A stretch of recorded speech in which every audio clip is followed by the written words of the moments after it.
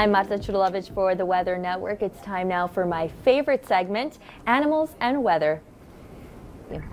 But there's also some pretty amazing animals, and uh, they're heading from Burnaby, BC to the Bahamas. I mean, yeah, I'd like to hike among the beautiful fall colors too, but not just yet but it's already happening. Let's take a look at Monday morning for Toronto. It's going to be 12 degrees. I mean, that's right around the seasonal mark. 13. It's going to heat up to 18. Not the seasonal mark. The seasonal mark for this time of year is around 22 degrees. So definitely a little bit cooler than normal. That's because there's a high pressure area situated over Ontario, bringing with it some of those cooler conditions from the north and uh, dipping temperatures a little bit below seasonal values, pushing out those clouds, allowing for the, the ground to actually cool down much quicker, which uh, could cause frost. And there are some frost advisories in place that Environment Canada had issued throughout the day. And here's why. Look at these temperatures four degrees in Sudbury, three degrees in Timmins. It's definitely chilly, 12 in Toronto, as I mentioned, and uh, the, the potential for that frost overnight is definitely there. But uh, there is precipitation in the forecast, and it's coming in through Tuesday and Wednesday. Ahead of this warm front on Tuesday, there is a potential for some showers, and then in the warm sector ahead of the cold front,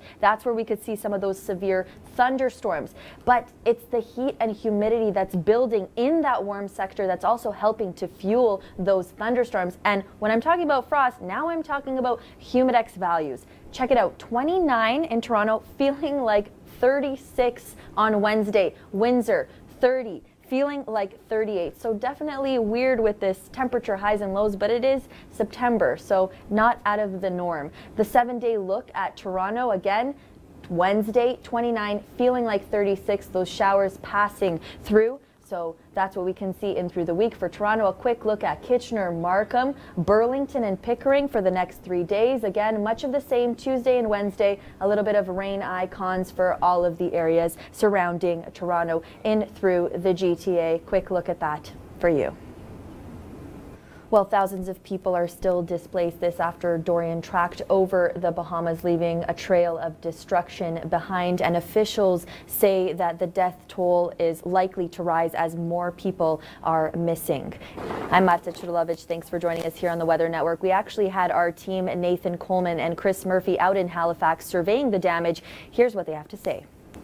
Dorian definitely destructive as it tracked over the Maritimes. Let's take a look at Dorian's track. It's weakening as it's moving uh, through the Gulf of St. Lawrence in through the North Atlantic, uh, but it is still bringing some of those strong winds and heavy rainfall. Dorian made landfall on Saturday in Nova Scotia in Sambro Creek at 7:15 Atlantic time. Some of the summary uh, events in terms of rain and wind, lots of rain dumped in Moncton, lots of strong winds in Yarmouth as we we take a look there. In through uh, Ontario, there's going to be some showers and thunderstorms as the heat and humidity builds in Tuesday and through Wednesday, and uh, that's in through the warm sector there. So uh, you could see some of those storms popping up in through Tuesday and Wednesday. Now let's take a quick look at the temperatures. It's going to feel like 36 in Toronto on Wednesday.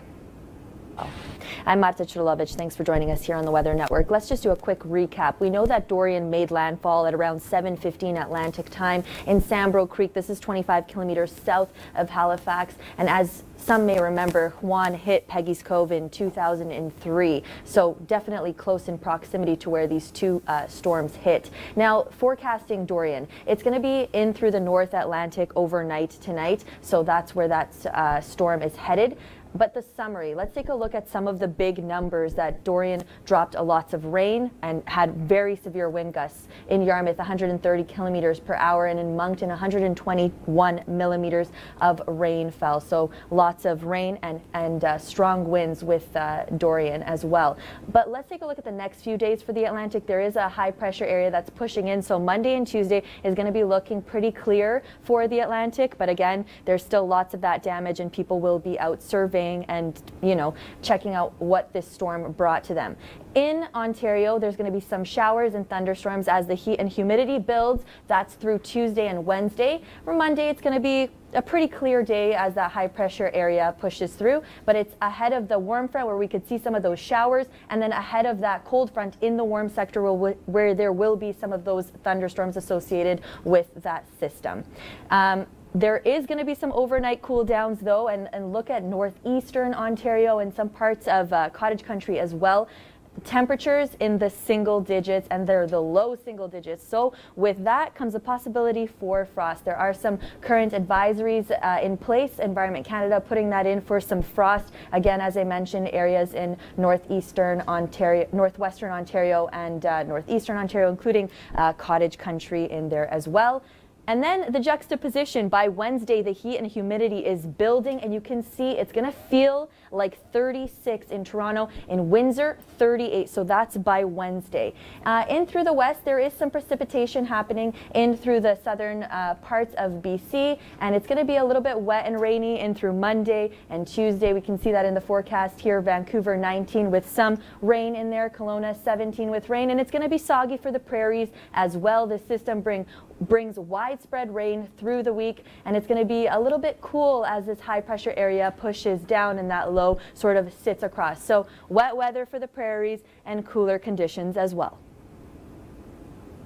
Uh, on Sunday in through Newfoundland. But let's take a quick look at Dorian's history. So it started on August 25th, tracked towards, and then we remember when it sat over the Bahamas and created that destruction as well, hitting North Carolina and South Carolina and then tracking towards Atlantic Canada. So this is just the past 10 days of Dorian's history. And uh, as we saw some of that destruction in through the Maritimes, um, making landfall uh, on Saturday at 7.15 Atlantic time, 25 kilometers south of Halifax in Sambro Creek. And as some people remember, uh, in 2003, Juan hit Peggy's Ho Cove. It was a direct hit. And a quick comparison between the two uh, while Juan had was a category two and had uh, 185 kilometer uh, per hour winds. Still lots of destruction, and Dorian caused a larger impact with widespread damage. And as you saw there in Nova Scotia, New Brunswick, and through uh, Newfoundland, uh, it's going to weaken as it passes through. The conditions are going to improve as Dorian tracks over